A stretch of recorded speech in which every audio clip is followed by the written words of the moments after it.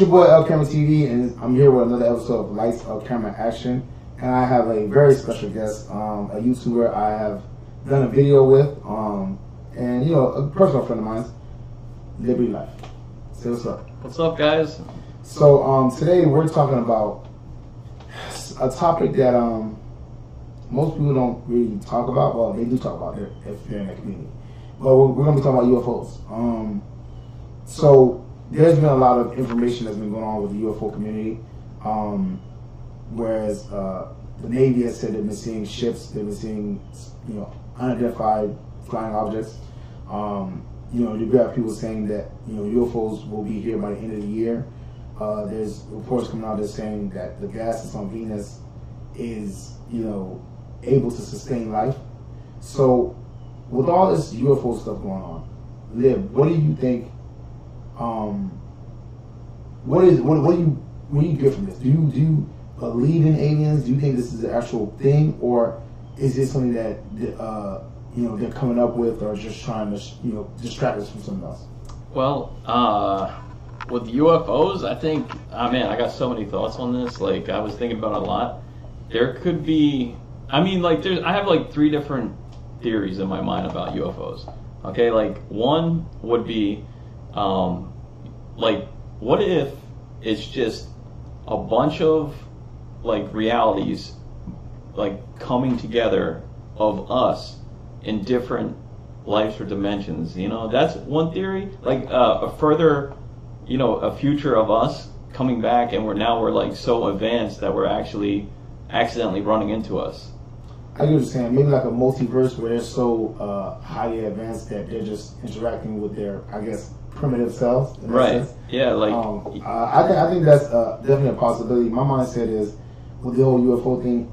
Like, okay, so first of all, I definitely think UFOs are real. The reason why I think they're real is because I've always looked at it like this. When I was a kid, and I was like, okay, well, there's nothing out there but space and dust, and I was like, and I was like, all these, all these planets and all these solar systems and all these galaxies that stretches on infinitely. I was like, if I was a creator, and I was like, okay, so let's let's let's look at it from the God perspective. I was like, okay, if you believe in God and everything like that, if I was a God, why would I create all this real estate, all this land, to pay any, meeny, money, mo, and pick a planet to put yeah. life on? You know what I'm saying? So yeah. I've always thought like that there is a, a being or there's beings out there. You know what I'm saying? Because I was like, what is all these planets for? Like just to have dust and wind on it? It didn't make it didn't make sense to me. If I was creating anything, I wouldn't like create a town and just put one person in one house and that be it. You know what I'm saying? Yeah. So it just never made sense to me. But like for me, like you said, it could be a situation where it's a multiverse. It could be a situation where,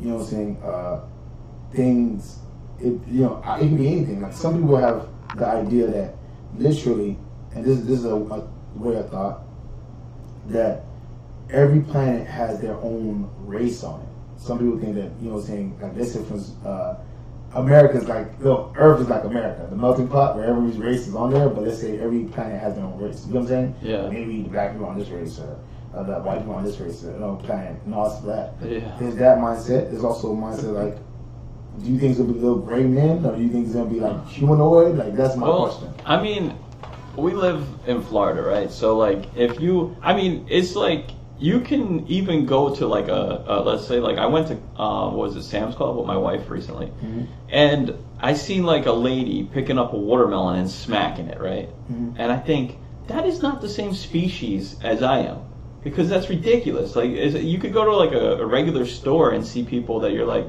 how can I relate to that? person. you know what I mean? So you, we might even be among other species of us on this planet, or you know, like like you said, the real estate is tremendous. Like it's it, like it, it doesn't make sense that we're the only thing and that's it. Yeah, I think we love to be important, which is probably why we're doing this YouTube, you know, and stuff. because yeah, we want to be. Maybe we're just egotistical. Yeah, like uh, naturally we're egotistical. Like even if you drive in your car, right? You go, you have to go faster. You have to get to that red light before the other person. For what instinct is that? You know what I mean? Like I don't know. But I just think that out of the whole world, like it's a scary thought to think that there's other things out there besides us. We we probably want to think that it's just us, but it's too big. There's got to be other things out there, and I mean, there's species of things that we find on our own planet that we never seen. And when you go like farther away, like when like we live here, so we're in a closed environment. But like when I used to drive a truck out west, I mean, it's so open. You feel like you're on a planet. You Yeah. know you're on Earth, and it's huge. Yeah. You know, but here it's a little bit like of a smaller mindset because we have the store here, we have this there, we got the beach. We just see the small things. But when you're traveling across the country, you know, open plains, you say like, "Wow, this is like such a beautiful country." How is it we're so small-minded to think that it's just us? You know? See, my, my thing with that is also this, right? Um, like you said, like, you know, I think we only know or discovered. I think like eighty, I think it's like eighty-five percent of the ocean that we haven't yet tapped into. Yeah. It's, so it's That's like, we don't have we don't have Yeah. enough information on our own planet. Yeah. And you're sitting here saying that there's Yeah. nothing out there. So my thing is, it's always been uh, fishy to me. So my question is this, right? So, okay, there's been the moon landing.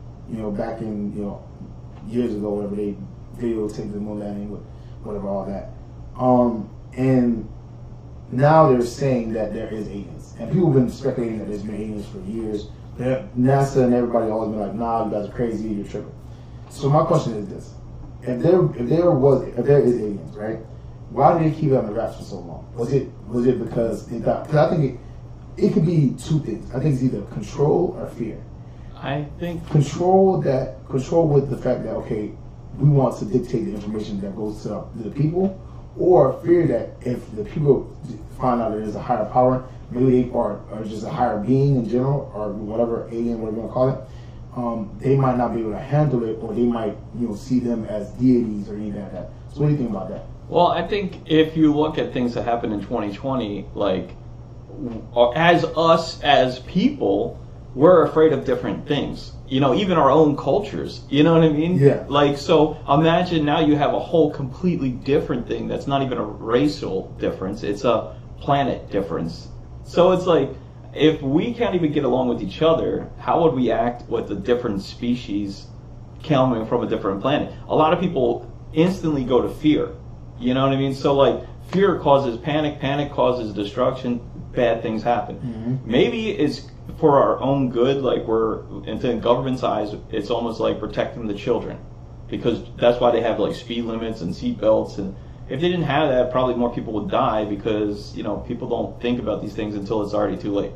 You know? See that that is an interesting perspective because you see it as okay, maybe they're just protecting us from things that we can't comprehend or we can't really control. And the question I, I have with uh, the whole idea is, okay, so that I think that's that's a possibility that, like you said, um, they can just we as people, because obviously we've been in a situation, we've seen how humans can act in general. You know what I'm saying? We're very uh, fear-based, like uh, the Salem witch trials. We would just, you know, witch hunted everybody. Like, oh, you're a witch. You burn her at the stake. You know what I'm saying? Just because she did, sneezed she, weird. she did, you know what I'm weird. No cartwheel, like, burn her, burn her. She, Yeah. It's something up, right? right? She can do a hula hoop dance better than me. exactly, so- She's a witch. So, uh, which is funny. Um, well, it's not funny, but you know what I mean.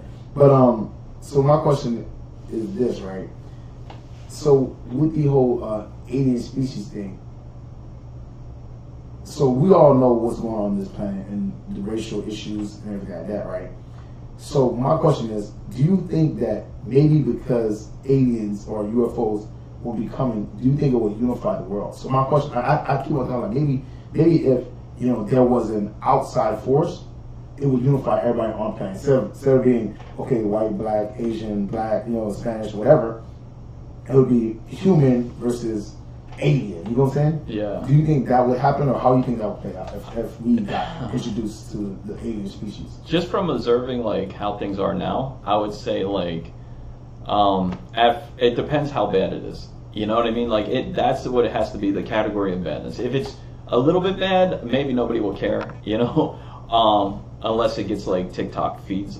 you know what I mean? Like, I don't know. You know, they could do a dance with an alien. But uh if it's like where it's so bad that if we don't join together, we will die as a species. Um, I think it would have to be like that close for us to be forgetting about our own differences. And even then, there are some people that are stubborn enough not to forget either way. You know? And that's that's the thing too. And like you said, like I think that would have to be the catalyst. It has to be like, okay, you guys gonna get wiped out. You know what I'm saying? Like at this point, this is gonna be obliterated.